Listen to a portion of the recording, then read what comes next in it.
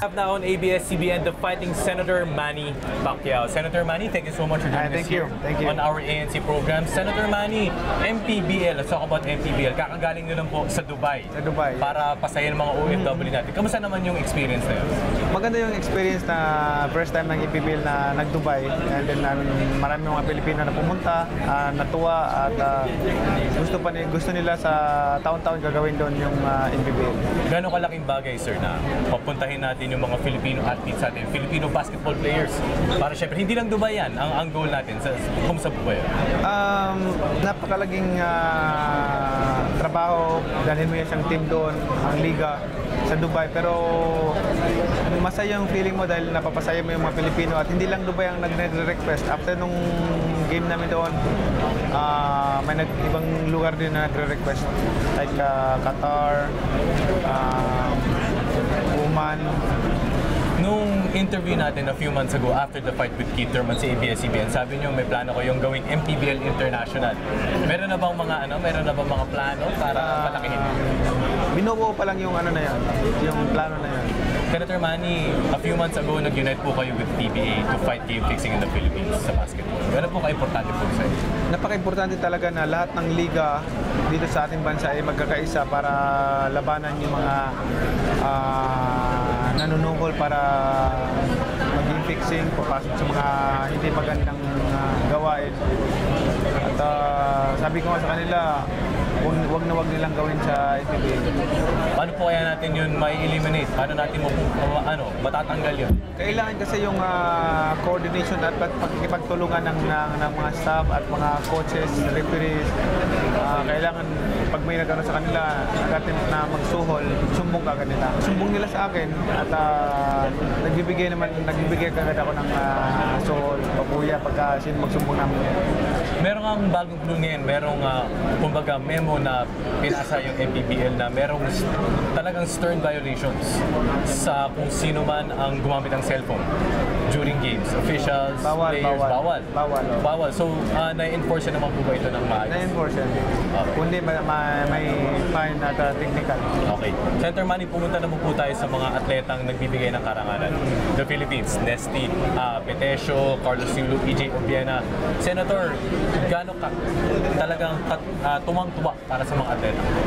Tuntua ako, masayang masaya dahil sa uh, ibigay niyang karangalan sa ating bansa at uh, kumbaga hindi lang ako ang nagbibigay ng karangalan kundi marami pang mga kabayan natin na nagbibigay ng karangalan. So ah, kaya sabi ko, magkaisa tayo, supportahan natin yung sport. Especially ah, ah, boxing. Yun nga, pumunta tayo sa boxing, women's boxing, si Nesty Petesio, second Filipina to win that gold sa tournament na yun. Gaano kalaki, gaano ka ka-proud and paano tingin mo, Senator Manny, mapapa, mapapalaki yung women's boxing sa Pilipinas? Basta may support lang, lalaki yan. Um, naniniwala ko na ang mga Pilipino mahilig sa boxing and basketball. Senator Manny, yun nga ang bukod sa basketball at sa volleyball, ang sinasabi ng lahat ng team, suporta. Ano ba yung suporta? suporta and then uh, kailangan kasi yung uh, support sa sa mga players from the government and support sa and then uh, pagsisikap din ng isang atleta. Tingin niyo po, ano, mabibigay natin yan, especially upcoming ng SEA Games. Tingin ko mabibigyan natin. Ano naman po ang tingin niyo sa preparation sa mga Pilipino sa SEA Games? Sa tingin ko, preparado yung mga atleta natin. Ah, very inspired sila dahil dito ang gaganapin yung SEA Games ah, at ah, Olympics next year. Siyempre, maghangad sila na kala mo sa Para kayo, Senator Manny, kapag may laban kayo sa Pilipinas, ikaw, from your perspective, gaano ka ka-inspired to fight in front of your inspired na inspired ako. Dahil ah, pag nag-ensayo ako parang ako na lang hinihinto ng mga mga coaching staff ko. Hinihinto nila ako para tama na kasi baka ma-overtrain. Okay. Pero, Senator Manny, ano pong wish niyo para sa mga athletes natin na magkakompete sa SEA? Ang wish ko sa nila is um, God bless them and focus lang.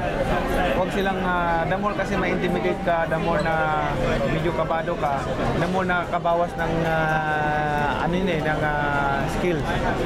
Especially speed and uh, power.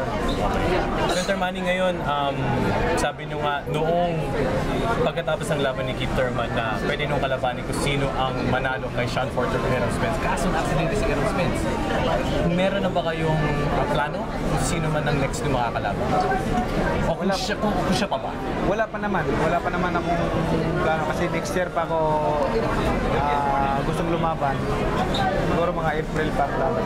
Pero as of now, wala pang nasa pipeline kung sino. Wala pa.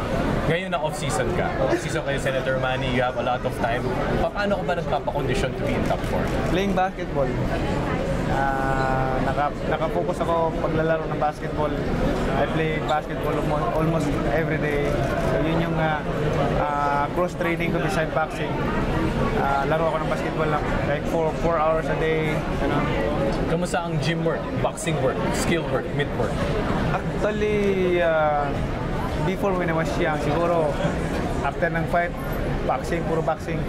Now, uh, at this age, after my fight uh, in boxing, back to back to Philippines and no boxing at all. No boxing at all. No boxing at all. Okay, so ano, mag magpapamiss muna kayo sa boxing na ko. Yes, ganun. Parang uh, after ng fight ko, last last fight ko in Torman, uh, no boxing at all. Hindi ako pumunta ng gym, hindi ako naganaw Kailan kayo babalik? basketball lang, tsaka jogging-jogging.